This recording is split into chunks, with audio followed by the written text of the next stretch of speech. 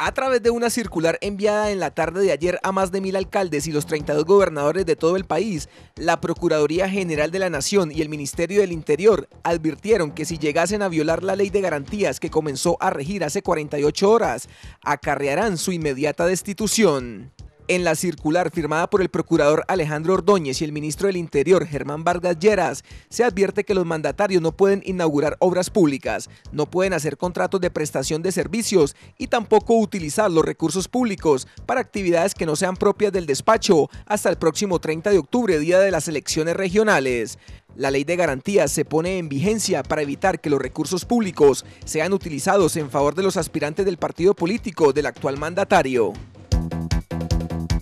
El director del DANE, Jorge Bustamante, confirmó que la tasa de desempleo en mayo llegó al 11.3%, lo que indica que el número de personas desocupadas en estos momentos en el país es de 2.516.000. Las ciudades con mayores tasas de desempleo son Quibdó, Armenia, Ibagué y Popayán. Las de menos tasa de desocupación son San Andrés y Barranquilla.